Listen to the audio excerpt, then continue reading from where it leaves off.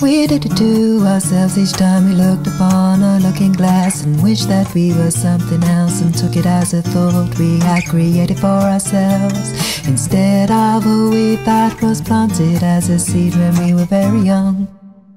We've trod a road so deep and wide with bricks of flame on every side while sirens cried with a voice that sounded much like mine and where was I?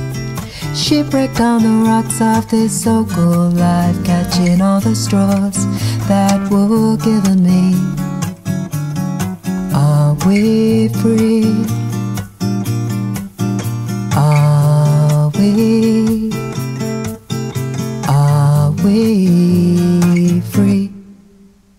Our expectations were too high, equality was oversold, and opportunities to reconcile and find some common ground just didn't take hold. With the shifting sands of promised lands, the oligarchy played their hands and drove another wedge between us.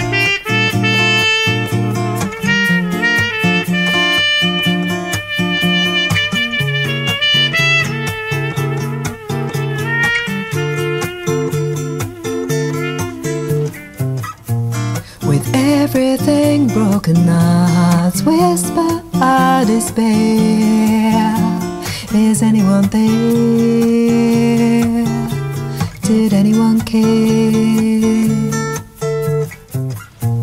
Now everything's broken and there's nothing left to lose. Shoes? Could you choose a third way to unpack this mess within and begin again?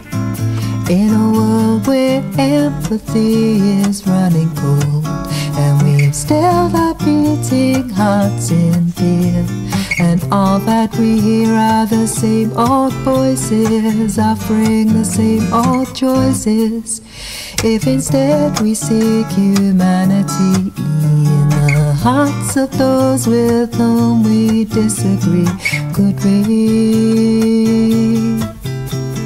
would we be free? With everything broken, our hearts whisper despair. Is anyone there?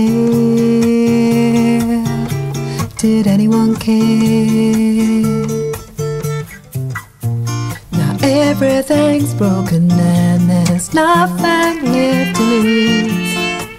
Did you walk a mile in my shoes? Could you choose a third way to unpack this mess within and begin again?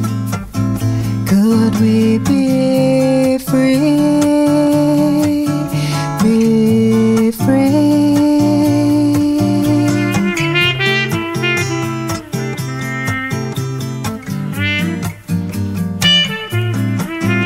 Be free.